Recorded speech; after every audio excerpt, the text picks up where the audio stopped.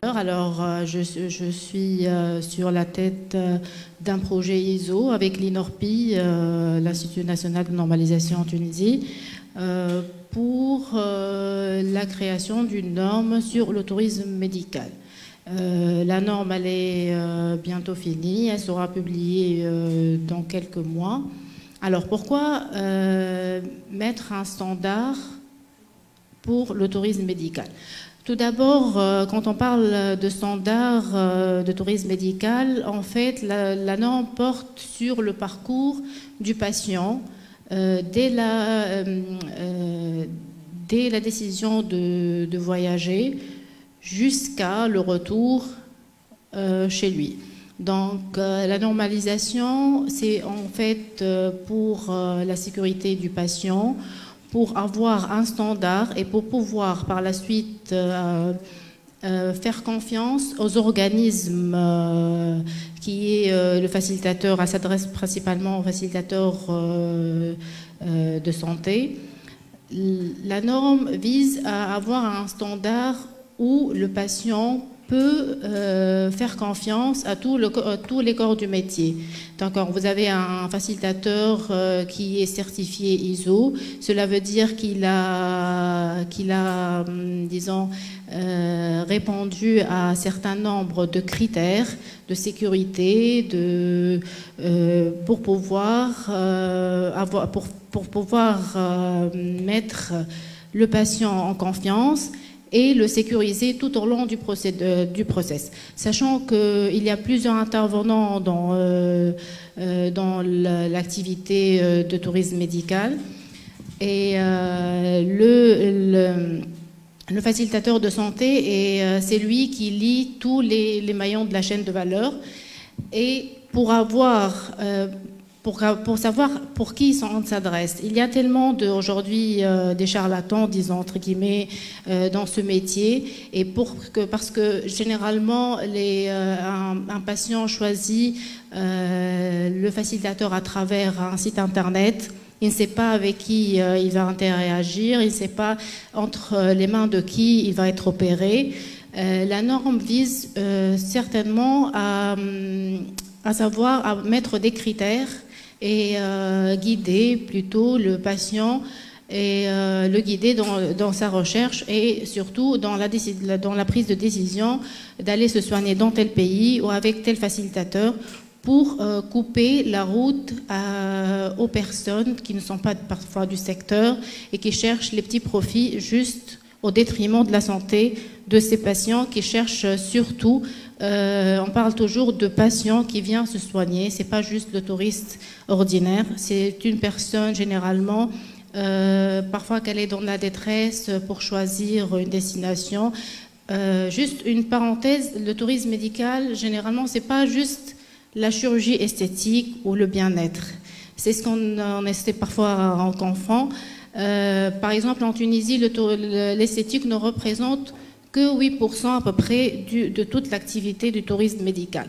Donc parfois, les patients, c'est pour des pathologies lourdes, parfois pour euh, des cancers, parfois pour des maladies cardiaques, parfois toute autre maladie. On a des gens euh, qui viennent, euh, qui ne sont pas, qui marchent même pas sur les pieds, qui ont besoin, comme travail Smédi généralement, sur des civières, euh, sur des transports médicalisés. Donc le plus important, c'est d'avoir un vis-à-vis honnête, du moins, et même si on ne va pas certifier l'honnêteté, mais on va essayer de certifier un process de la prise de décision jusqu'à le retour de chez lui. Il sera, euh, disons, entre deux bonnes mains par des gens qualifiés et euh, par des gens qui, qui, font le travail dans les règles de l'art. Sachant que le tourisme médical, c'est un nouveau métier, donc les règles de l'art, il n'y a pas, a pas ni un cahier de charge, ni, euh, ni une législation. Tout se suit par la suite aujourd'hui parce que c'est un nouveau métier. Le cahier de charge en Tunisie, par exemple, il, euh, va être publié euh, dans quelques temps. Euh, la norme ISO dans quelques temps aussi. Aujourd'hui, on essaie de mettre des règles plus strictes pour protéger, pour protéger le patient qui cherche à se faire soigner au-delà de ses frontières. C'est quelqu'un qui va quitter sa maison, prendre l'avion et partir, parfois dans l'inconnu. Donc, au mieux, ce serait d'essayer de, le mettre à l'aise et qu'il revienne chez lui sain et sauf. Donc voilà. En effet, il n'y a toujours pas de texte législatif, mais ça, se travaille, euh, que ce soit par, euh, la FTAV, euh, par, les normes ISO. Et j'aimerais justement poser une dernière question pour qu'on soit plus dans le le contexte de Covid et de New Normal. quels sont les défis à relever pour votre activité, pour le tourisme médical, devant le ralentissement touristique en général et euh, de tourisme médical par la suite, comme euh, a évoqué euh, Monsieur Razi.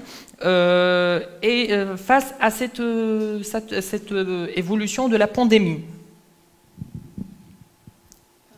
alors, pour je... répondre, Alors, par rapport au Covid, c'est un ralentissement sur tous les secteurs. C'est pas juste le secteur euh, du tourisme médical, comme a dit euh, tout à l'heure euh, Sirazi. pour le tourisme médical, peut-être bien, c'est une chance. aussi, ça va ralentir, mais c'est pas comme le tourisme. Il peut parfois, peut-être bien, peut-être le tourisme médical peut, après cette pandémie, ouvrir les portes pour le tourisme.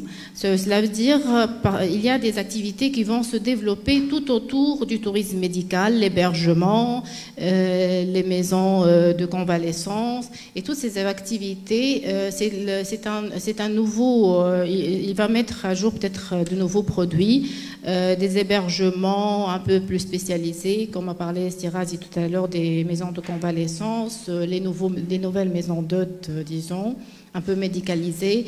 Peut-être bien, c'est aux alentours de tout ça, sachant aussi que le tourisme médical, c'est, on a besoin parfois de voyager, on est dans l'obligation de voyager pour se faire soigner. Euh, comme on a, euh, évoqué tout au début, c'est pas juste euh, un besoin pour l'esthétique, parfois c'est un besoin vital pour des coûts élevés, parfois dans le pays ou par le patient, pour des délais d'attente parfois très très longs, parfois aussi pour une législation qui est assez limitante dans certaines interventions telles que la PMA. Euh, pour euh, la procréation médicalement assistée, etc. Donc parfois, on est dans l'obligation de partir. Le, donc le tourisme médical, c'est pas le tourisme pour les loisirs, et comme a évoqué le, panel précédent, euh, c'est les loisirs qui sautent à la première occasion. Aussi, on est aujourd'hui dans un contexte d'une pandémie euh, on ne sait pas quand est-ce qu'elle va prendre fin, mais aujourd'hui, il faut préparer le terrain pour le tourisme médical pour qu'il reprenne. Et peut-être une, peut-être une fois, les flux de personnes vont reprendre au plus, au plus beau. On ne sait pas encore comment on va réagir, mais aussi, comme j'ai dit tout à l'heure, pas une, euh, pas, les loisirs.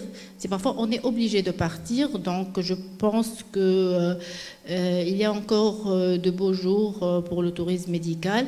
Le plus important, c'est que de travailler aujourd'hui sur l'idée que le patient, quand il va partir, il doit être confiant.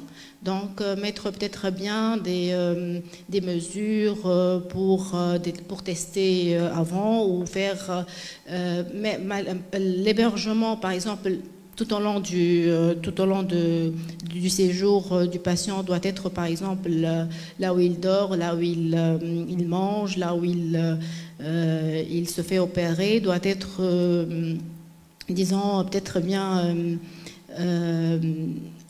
mais avec des règles, de nouvelles règles d'hygiène et tout ça, pour le mettre en confiance, pour qu'il voyage avec une idée de revenir sain et sauf. Voilà.